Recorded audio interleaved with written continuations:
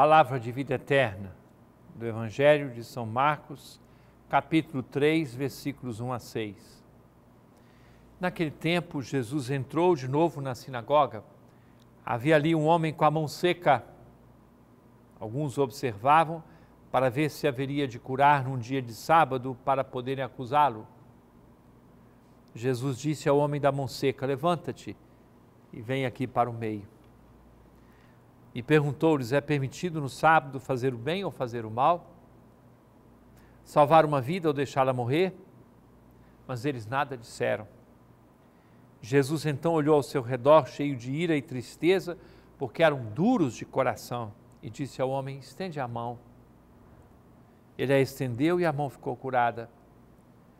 Ao saírem os fariseus com os partidários de Herodes, imediatamente tramaram contra Jesus a maneira como haveriam de matá-lo. Caríssimo irmão, caríssima irmã,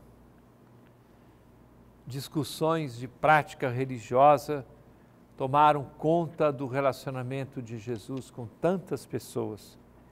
Iam buscá-lo para fazer provocações.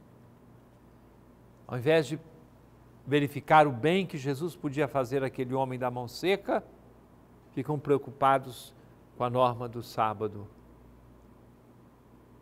Mas nós já conhecemos a atitude de grupos que se degladiavam e pressionavam Jesus.